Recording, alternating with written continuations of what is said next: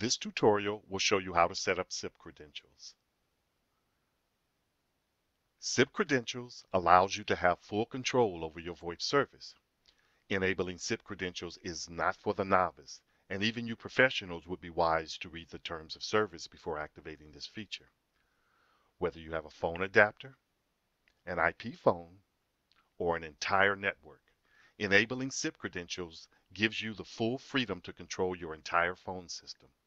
Nevertheless, this freedom is not without risk. When you enable SIP credentials, you are saying that you know how to configure, maintain, and secure your network with little or no help from your VoIP provider.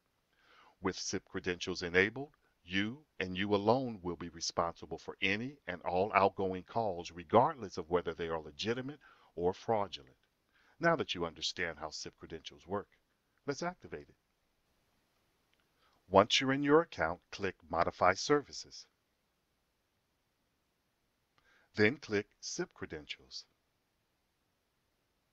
On the SIP Credentials page, there is a brief description outlining the limitations of SIP credentials.